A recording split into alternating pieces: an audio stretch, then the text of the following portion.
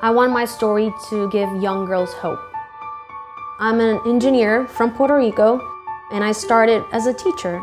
My name is Maria Gabriela Gallardo and my job title is Shift Capability Leader at Georgia Pacific.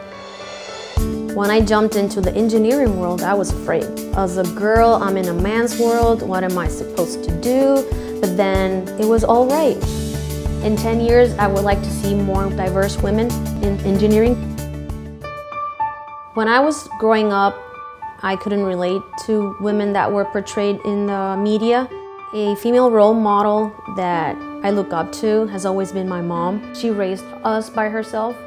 At one point, she lost her job. She worked, and every day we had a plate on our table.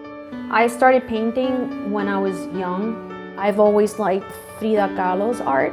Frida, in her era, was a very bold woman. She has inspired a lot of women throughout time because of her personality. She gave hope to a lot of women, and that's what I'm trying to do as well. My advice to young girls is that nothing is impossible. Young women need to feel like when they grow up, they can be engineers, they can be astronauts, it doesn't matter. Women we have to be true to ourselves. A lot of women are coming up together and proving the rest of the world that we're here, making a change.